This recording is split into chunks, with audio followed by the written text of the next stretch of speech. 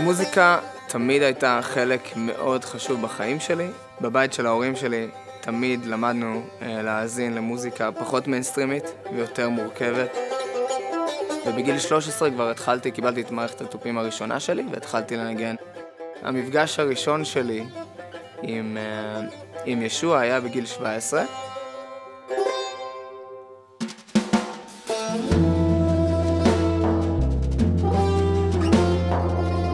בגיל 21 עברתי לירושלים.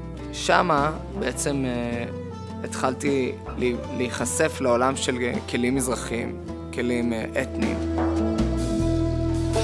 ובעצם הלב שלי, התחושה הפנימית שלי הייתה כזו שאני צריך לנגן טר, טר פרסי. אף על פי שבחיים לא שמעתי את הכלי הזה ולא ראיתי אותו פנים אל פנים, רק דרך איזה אתר אינטרנט של בית ספר למוזיקה מהמזרח.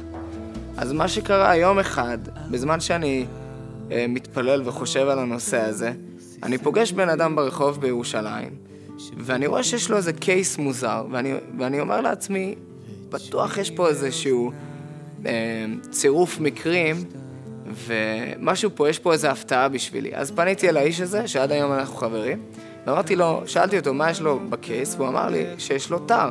אז אמרתי, וואו, איזה מדהים, אה, בדיוק בזמן האחרון אני חושב ללמוד ולנגן על הכלי הזה, אבל בחיים לא ראיתי אותו. אתה תוכל להשמיע לי שני צלילים? הוא השמיע לי שני צלילים ופשוט התאהבתי בכלי הזה מיד.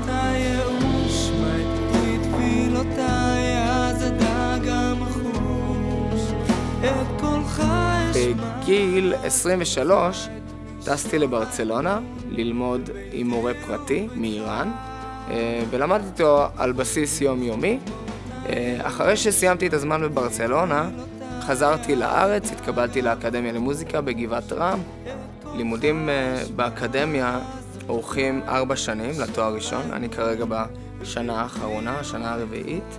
בזכות המלגה שקיבלתי מ-Iceland with Israel, בעצם אני יכול להתרכז, להמשיך להשקיע, uh, וזה דורש הרבה זמן, הרבה השקעה, הרבה שקט ונחת רוח.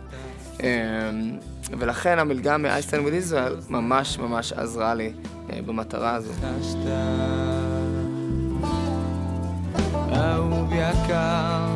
תודה גדולה וענקית כל התורמים אה, מ-Iceland with Israel על כל התמיכה שלכם אה, בפיתוח הארץ, בפיתוח התרבות בארץ, בעזרה לאנשים בארץ, בעזרה למוזיקאים בארץ.